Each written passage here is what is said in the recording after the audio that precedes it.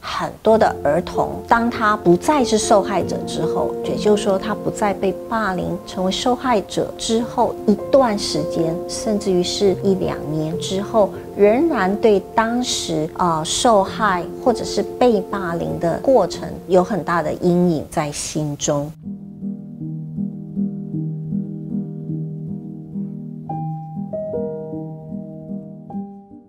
接下来我们要谈的是暴力与攻击。我们也知道，幼儿以及儿童互动的时候，难免会有一些啊身体上面的接触，甚至于是攻击的行为。我们也知道，儿童在游戏的过程当中可能会产生啊冲突。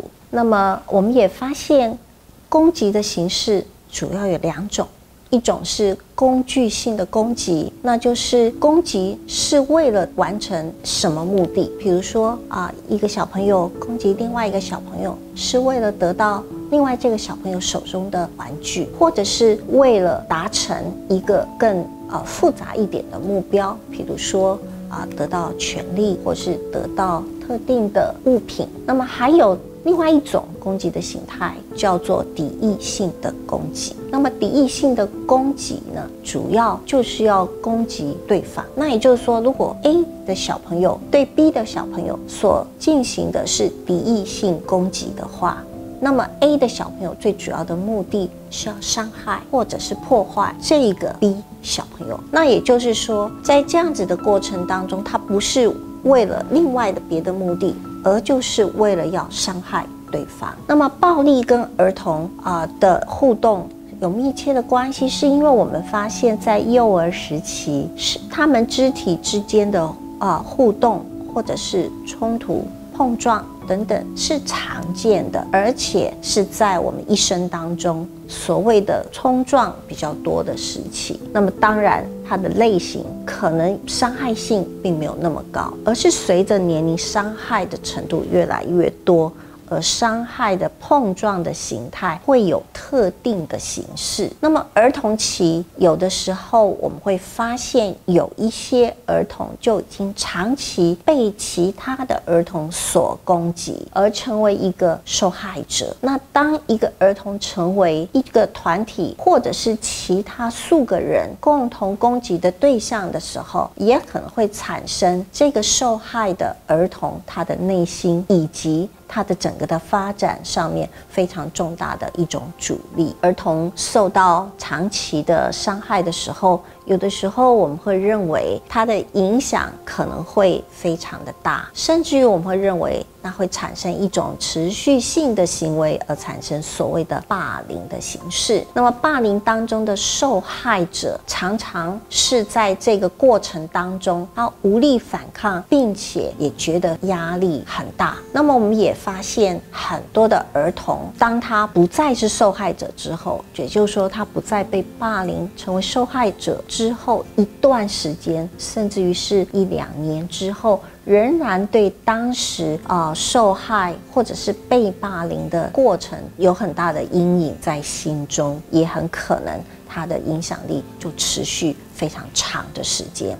因此，在幼儿时期以及在儿童时期，我们应该要尽量避免产生受害或者是持续被霸凌的情况。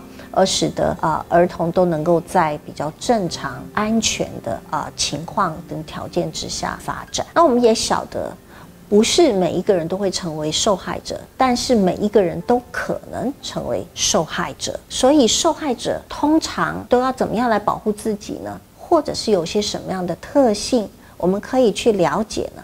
我们发现，在幼儿以及儿童期的受害者，常常都是过或不及。也就是说，他可能是反应很强、很过，或者是反应非常少，少到别人一直要来挑衅。那么这些呢，都是很可能成为受害者的一种状况跟条件。所以受害者有很可能很容易被激怒，或是很容易畏缩，而有人一直要过来啊欺负他。那么当然，我们也会教导儿童。面对这样子的情况，要如何的回应？